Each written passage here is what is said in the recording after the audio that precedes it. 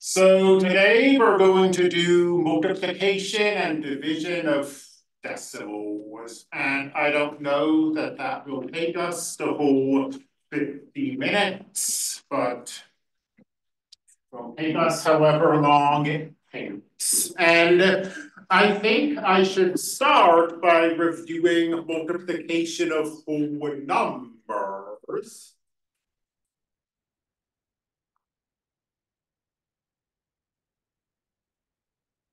Because I'm not certain that we've done this in this class. We definitely looked at problems like, like that, where we multiply a number by a single digit integer. But um, but what happens if we have multiple digits? Well, up to a point, it's kind of what you'd expect. We, uh, again, we know what to do if we just had that six. I mean, we briefly reviewed that in this class. Seven times six is 42. Somebody tell me if I make a goofy mistake here. We write down the two, we carry the four. Six times two is 18, plus two is 22, carry the two. Six times one is six, plus two is eight. Now what about the three? Well, the three is sort of the same, except that as you move along, we're going to do this multiplication in a second row, and we're going to put a zero there.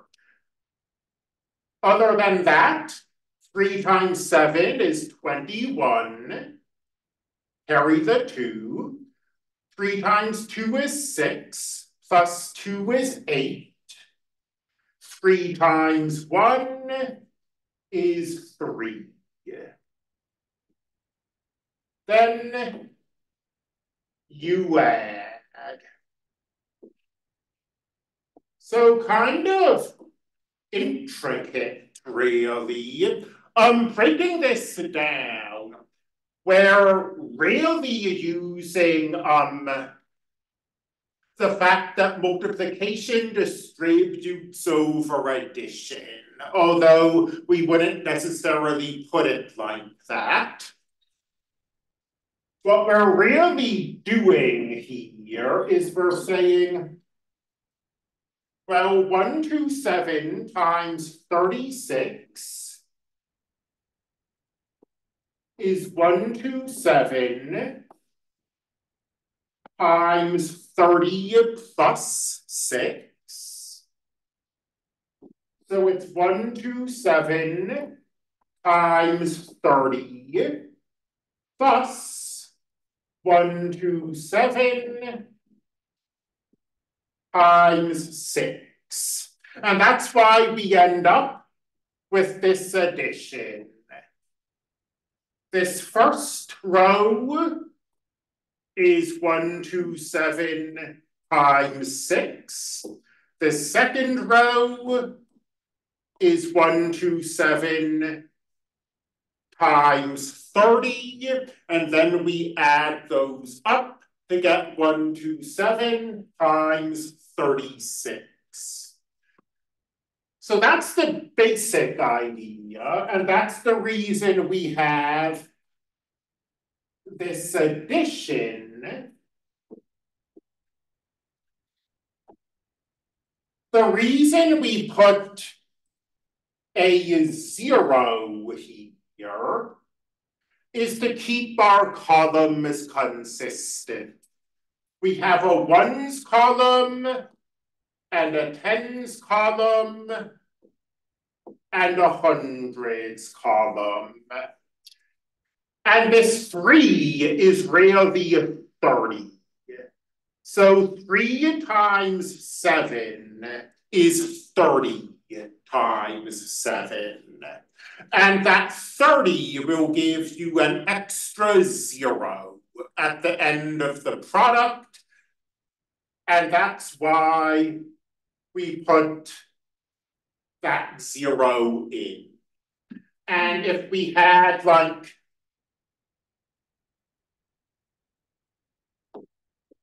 one, two, seven times three sixty. Well, making our life easy, I guess, by having that zero there. Zero times seven, zero times two, zero times one. Then because that six is really a sixty, everything times six will have a zero in the ones place. And let's see. Seven times six is forty-two. Six times two is twelve plus four is sixteen. Six times one is six, plus one is seven. It's easy to do on the whiteboard. On paper, you if you do a lot of carrying, you can get quite some ugly scratch work. And now down here, we're going to get two zeros because now we're going to multiply by three, but three is really 300. So when we multiply by hundreds, we get two zeros always. Um, three times seven is 21. Three times two is six, thus two is eight. Three times one is three. And now again, we're doing big addition here. Zero, two, seven, 15, carry the one. Three and one is four. Put in a comma to make it clear what number that is. So multiplying decimals is um by hand is kind of good news, bad news. I mean, the bad news is that multiplication by hand is kind of tedious, and it's not going to become less tedious by putting decimals in. The good news is that putting decimals in doesn't make the problem much worse either.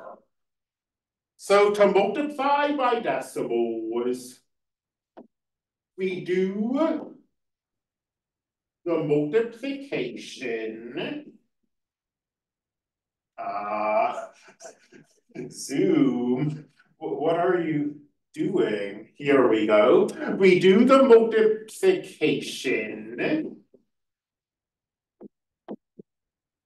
And we ignore the decimals when we do uh, the multiplication.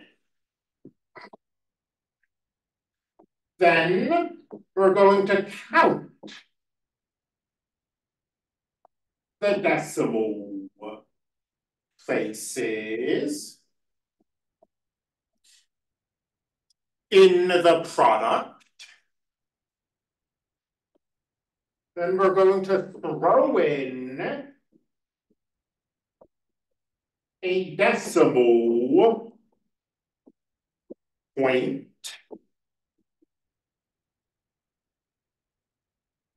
so that the answer has that many decimal places. Um, it sounds, that's a pretty awkward explanation. That's probably making it sound more complicated than it is. Let's say we want to multiply twelve point four times one point seventeen. So maybe I'll go out of order and I'll say,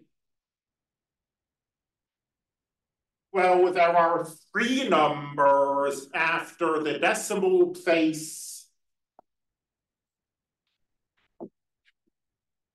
So we're going to have three decimal places in our answer.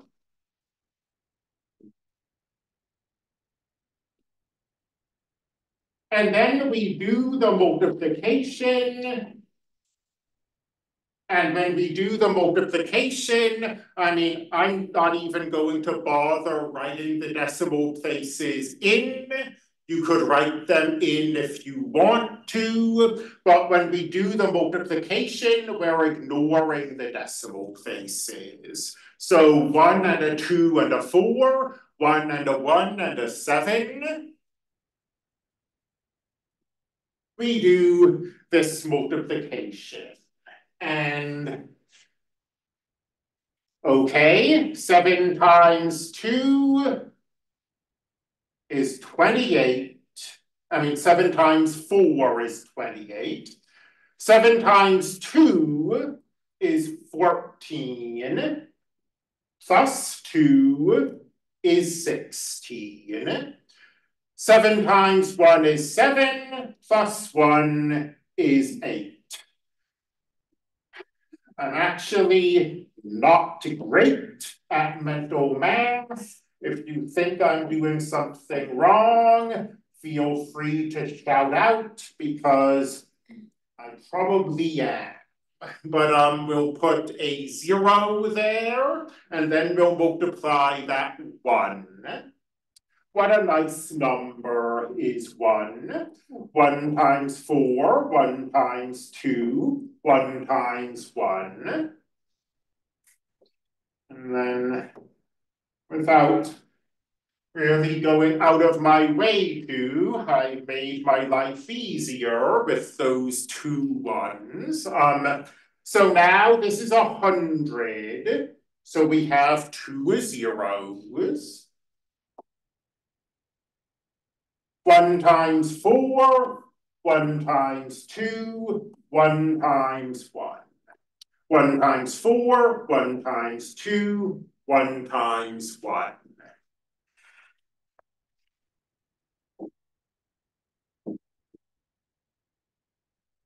Add it all up.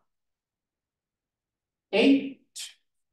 Six and four is ten. Carry the one. Eight and two is ten. And four is fourteen. And one is fifteen. Carry the one. Two and one and one is four. One and nothing is one. So the answer as we have it written is fourteen thousand five hundred and eight, which hardly seems as if it could be correct and of course it isn't. We now remember, well, we had three places after the decimal, one from the 12.4, two from the 1.17. And now we go down here and we count one, two, three. And we put the decimal point there to give us three places after the decimal. Fourteen point five zero eight. So that's multiplication by decimals. Um, division by decimals is going to be the same kind of good news, bad news. Again, the bad news is that long division is kind of annoying. The good news is that having the decimal doesn't really change that much. Let's start by doing an example.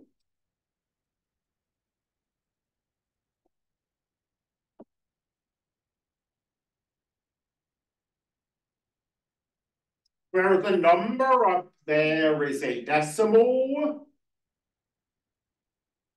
And the number in the bottom isn't. So something like three three eight point five six, a decimal, divided by twenty-three.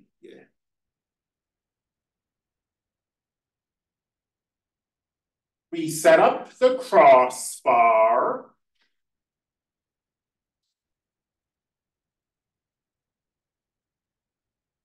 We will only think of this decimal place once during this entire process. And it's at the very start of the process. We'll lift the decimal place up and put it right there in above the crossbar. Otherwise, this will be division as normal or I guess I should say division mostly as normal. Twenty-three does not go into three. I know a lot of people would probably skip this step and say, okay, it does go into thirty-three, but I honestly find long division kind of hard, and I find that I make fewer mistakes if I write everything out. So twenty-three does not go into three. Zero times twenty-three is zero. Three minus zero is three. Carry the next digit down or drop the next digit down or bring, bring is probably the word that people use, bring it down. Now twenty-three does go into thirty-three once. One times twenty-three is twenty-three. Do the subtraction bring down the next number, which is eight. Um, I think the thing I like least about long division is that we get situations like this where we're trying to ask ourselves, so how many times does twenty-three go into hundred and eight? Um, I want to say probably four times. We'll find out if I'm wrong. Um, four times twenty-three.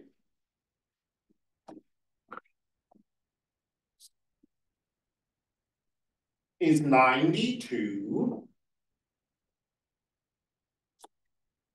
Do the subtraction. Eight minus two is six. Borrow sixteen. Drop the next number down. And aside from the fact that, um, sorry, what I'm trying to say is, I mean, we put, we wrote this decimal here, we're now to the right of the decimal, but nothing changes, we just keep going. Four times twenty-three. We already did that. Where are we? We're here. Twenty-three into one hundred sixty-five is seven. That might require a little trial and error. I did this problem before class. Then seven times twenty-three is one hundred sixty-one. Subtract. Bring down this digit. Do the division. Twenty-three goes into forty-six twice.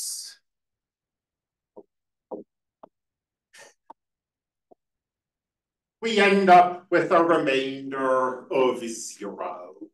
And I mean, I know I sort of said, oh, well, it's really not any different. I mean, there is a difference. When you divide one decimal by another, there's no guarantee that you're going to to get a nice remainder of zero, division can just keep going forever. I mean, we saw that with like one divided by three, but in this case, we get a remainder of zero, and our answer is fourteen point seven two.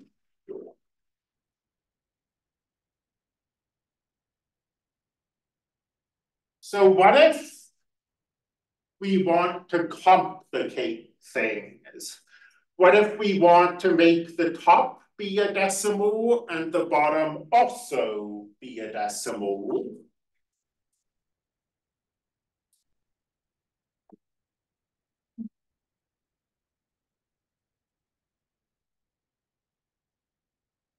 Three point five into forty-eight point sixty-five. Well, the good news is we're not going to have to learn some entire new process. We're just going to uh, going to use this process. To do division like this, we need that number in the bottom not to be a decimal. The the fundamental theorem of fractions comes to the rescue. The fundamental theorem of fractions says, well, if we multiply top and bottom by the same number, we don't change the fraction. And in particular, when we multiply the top and the bottom by 10, it doesn't change the fraction. But what it does do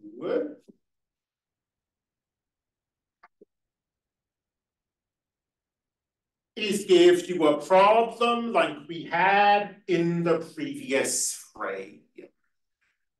I have no clear memory of this. I suspect that when this material is presented to children, it's not presented in terms of multiplying by 10 and using the fundamental theorem. I suspect we just tell them, well, move that decimal to the right and then move that decimal to the right by the same amount because that's what we're doing. Multiplying by 10 or by a hundred or by a thousand takes decimal points and moves them to the right.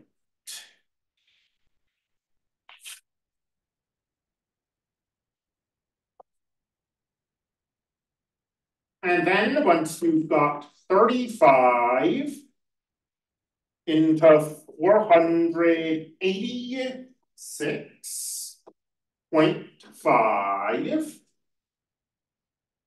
Again, the only place this decimal is really going to do anything is at the very beginning of the problem when we copy it up.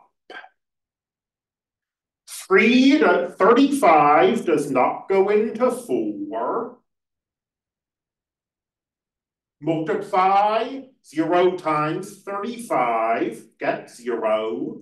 Subtract, bring down. 35 does go into 48 one time. 35 times 1 is 35. Subtract.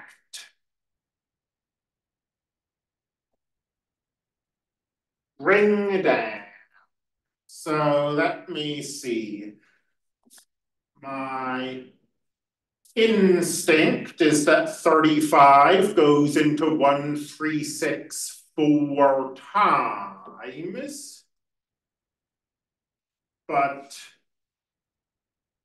not for the first time in life, my instinct was not correct. Four looks like it's too big. 35 is going to go into 138 three times.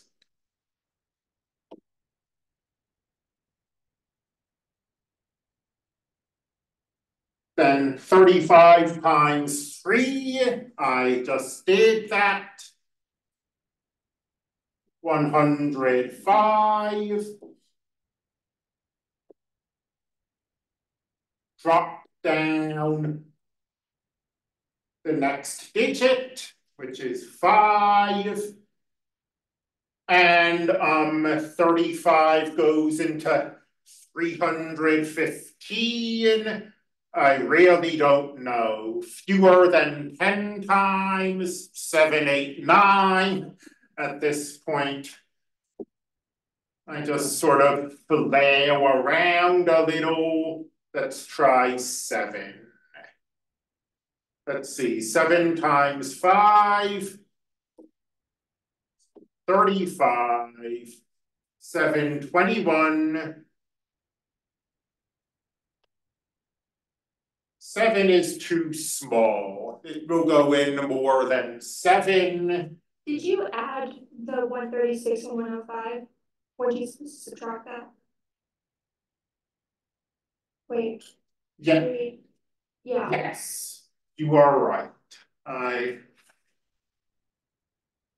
made an error. Thank you for catching that. Six minus five is one. Three minus zero is three.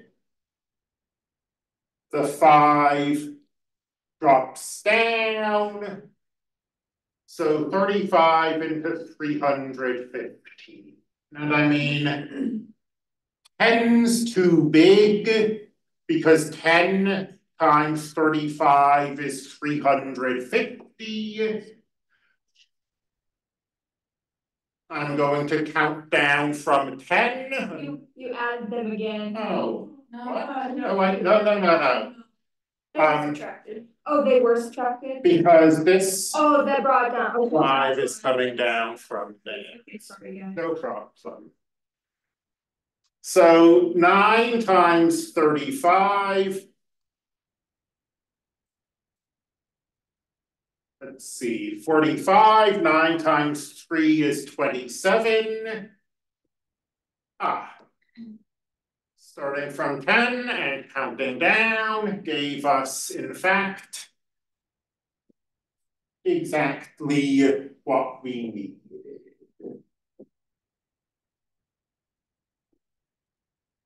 we get a remainder of zero. Again, I mean, this problem, I just yanked off some website that was designed to work nicely. You know that when we have decimals, there's no guarantee that we wind up with a remainder of zero. We might be in a position where we just keep dropping zeros down. But in any event, thirteen point nine.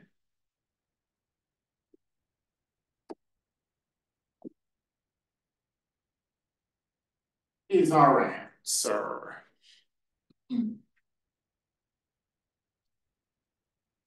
All right. And it's very early, but this is kind of a break in the course. Um, so we will start brand new stuff, um. Friday, I mean hypothetically brand new, I know if you were in Mr. Vogel's class, he kind of went a little nuts, but I will see you then.